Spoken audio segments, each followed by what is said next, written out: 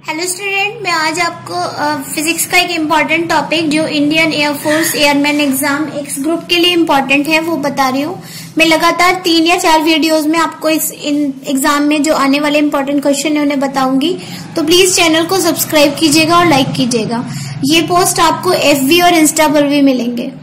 तो I let's start alternating current ये topic बहुत इंपॉर्टेंट है और इनमें वो क्वेश्चन भी सॉल्व कर रही हूँ जो इन एग्ज़ाम्स में आए हुए हैं। ठीक है तो देखिए, सबसे पहले I am talking about current तो हम आईएम के बारे में बात करते हैं और एकदम फॉर्मूला से स्टार्ट कर रही हूँ क्योंकि उसी चीज़ की आपको ज़रूरत है। आई को हम बोलते हैं मीन वैल्यू मीन और average value of average value of current value of alternating current alternating current ये जो नोट्स हैं, ये आपको बहुत प्रॉफिटेबल होंगे, इन्हें ध्यान रखिएगा। तो आई एम के लिए हम फॉर्मूला यूज़ कर रहे हैं two I zero upon pi ये रिलेशन बहुत बार आया हुआ है और इसे इन शॉर्ट ध्यान रखिए point six three seven I zero I zero को यहाँ पर आप बोलोगे पीक वैल्यू पीक और maximum value of maximum value of current value of the current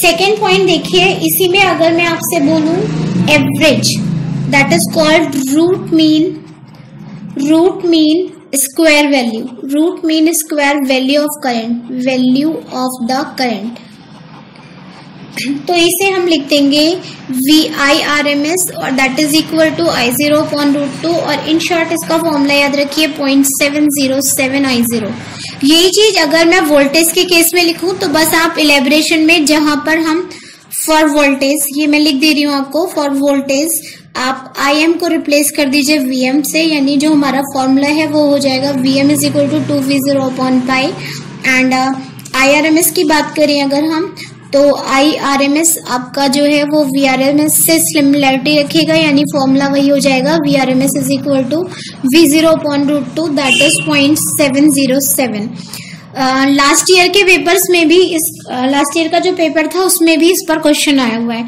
तो क्वेश्चन बहुत सिंपल होता है। उस चीज़ को मैं अभी आपको सॉल्व करके बता रही हूँ। एक और चीज़ देखिए। हम uh, रिएक्टेंस की बात कर रहे हैं। रिएक्टेंस रिएक्टेंस की बात कर रहे हैं तो रिएक्टेंस के केस में आप दो चीज़ों को ऑफ़र करोगे। एक क्वाइल है और एक है capacitor coil and capacitor in case of coil आप इसको इंडक्टिव रिएक्टेंस बोलेंगे। इंडक्टिव रिएक्टेंस और इसे आप एक्सेल से रिप्रेजेंट करोगे और इसके केस में आप इसे कैपेसिटिव रिएक्टेंस बोलोगे। कैपेसिटिव रिएक्टेंस और इसको हम रिएक्टेंस और इसको हम एक्सी से रिप्रेजेंट करेंगे। एक्सएल का फॉर्मूला होता है omega into L and X C के लिए आप लिखोगे that is your one upon omega C यहाँ सिंपल दोनों फॉर्मूले में लेवरेशन देख लीजिए।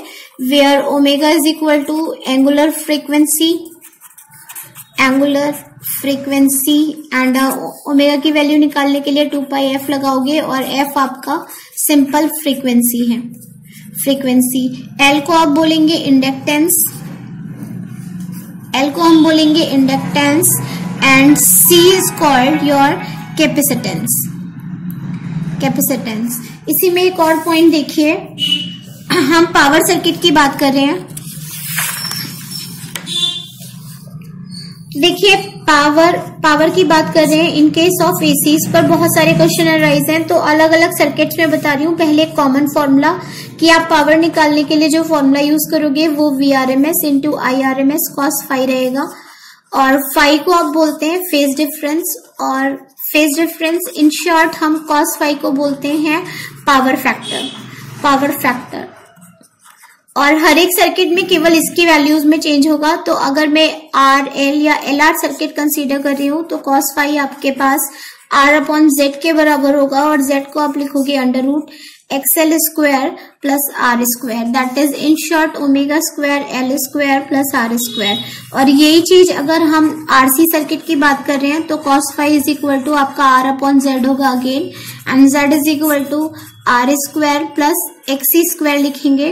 और इस फॉर्मूले को थोड़ा और सॉल्व करेंगे तो ये हो जाएगा one upon omega C whole square और यहीं पे अगर हम एल सी आर सर्किट की बात कर रहे हैं तो कॉस फाइव को आप लिखोगे आर अपॉन जेड अगेन और इस केस में जेड की वैल्यू होगी X L minus X C whole square plus R square आगे देखिए तो ये पावर फैक्टर था। पावर फैक्टर की वैल्यू मैं आपको एक और बता रही हूँ। उसके लिए हम in case of resonance consider कर रहे हैं। एट रेजोनेंस एट रेजोनेंस आप ध्यान रखिएगा, जो एक्सएल होता है that is equal to X ये कंडीशन पूछी हुई है।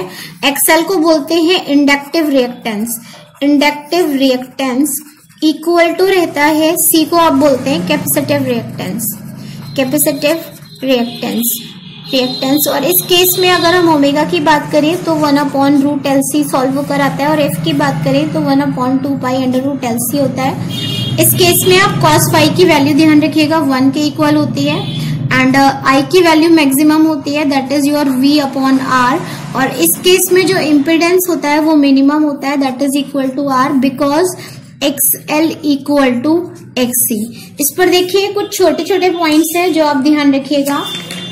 In case of DC in case of DC अगर हम डीसी की बात करें डीसी मीन्स डायरेक्ट करंट इस पर क्वेश्चन पूछा जा चुका है डायरेक्ट करंट यानी फ्रीक्वेंसी ज़ीरो होगी तो इस केस में एक्सएल की वैल्यू ज़ीरो होगी और एक्सी की वैल्यू इन्फिनिटी हो जाएगी। तो आप ध्यान रखिएगा capacitor blocks capacitor blocks DC blocks DC तो किसी भी सर्किट में अगर डायरेक्ट करंट को स्टॉप करना हो तो हम कैपेसिटर यूज़ करते हैं। अब मैं आपको इस पर आया हुआ एक क्वेश्चन बता रही हूँ।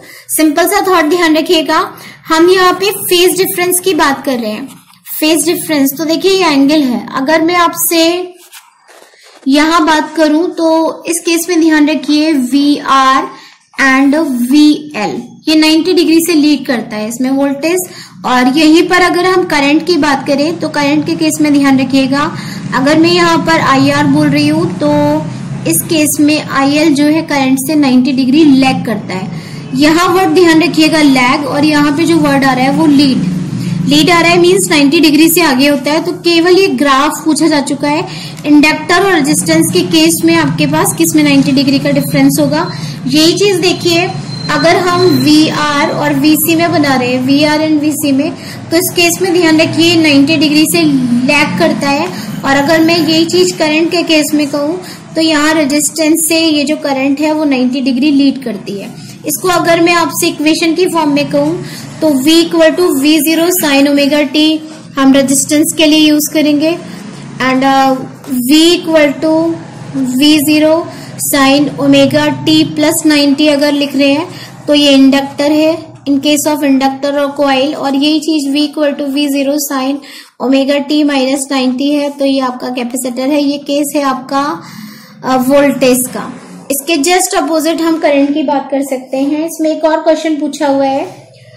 Which of the following is independent of frequency of AC तो एक पॉइंट ध्यान रखिएगा। Resistance is resistance is independent of independent of frequency of AC frequency of AC ये क्वेश्चन बहुत पूछा गया है। Frequency of AC that is alternating current एक और पॉइंट ध्यान रखिए।